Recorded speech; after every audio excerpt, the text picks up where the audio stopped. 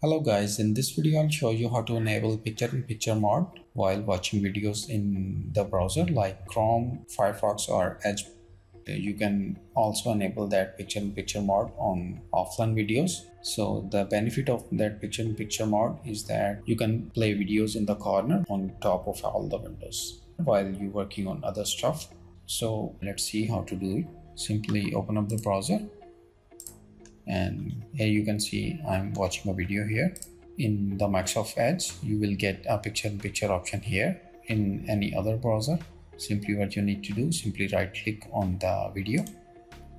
Right click again. You need to right click twice and you will get that menu. Simply click picture-in-picture option. And here you can see it's instantly turn on the picture-in-picture -picture mode. Now you can minimize the browser and as you can see the video is still playing here while you can start working on other stuff. Here you can see I'm opening a settings but the video is still playing in the corner. Then you can move that video to somewhere else like I'm doing you can pause the video.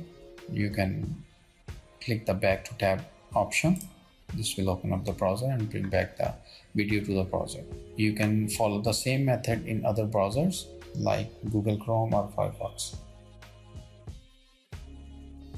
Let's try it on an offline video. There you can see i have a video on the desktop. Simply right click on it select open with and then select movies and tv option.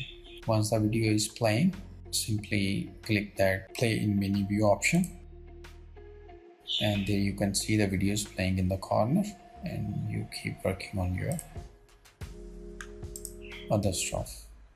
So that's it guys. This is how you can enable the picture-in-picture -picture mode in different browser while watching videos or offline video.